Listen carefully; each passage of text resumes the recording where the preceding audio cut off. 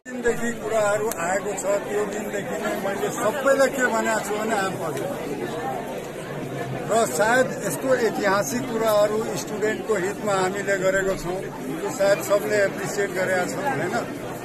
यसमा अहिले के प्रब्लम हो र जहाँ पनि सम्झौता हुँदाखेरि बिसीकै निर्देशमा कसैले गर्यो भने that's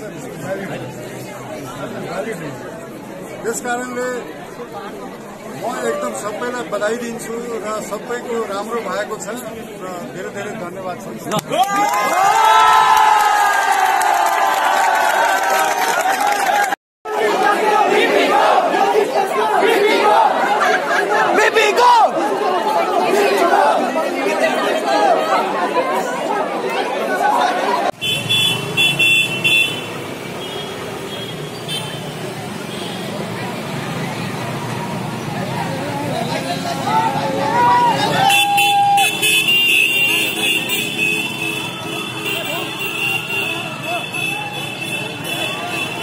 dam dam dam dam.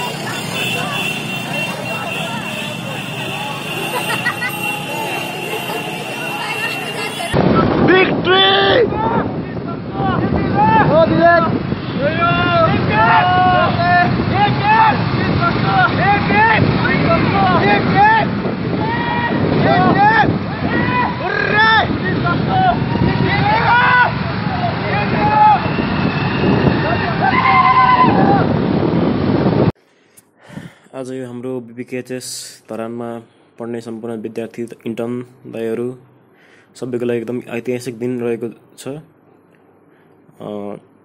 धेरै समयको लामो सङ्घर्षपछि र धेरै चरणको आन्दोलनपछि अन्तत हाम्रो प्रशासन प्रशासनले भिसी सरहरूले चाहिँ यो हाम्रो माग पुरा गरिदिनु भएको छ जसमा के लेखेको छ भने अबदेखि गएको अप्रिल महिनादेखि चाहिँ हाम्रो पन्ध्र हजार हजार इन्टर्नको पन्ध्र हजार तलब हुनेछ र टियुको कलेजहरूमा जब जब इन्टर्नको स्यालेरी बढ्छ इन्टर्नको स्टिपेन्ड बढ्छ तब तब हाम्रो पनि बढ्नेछ।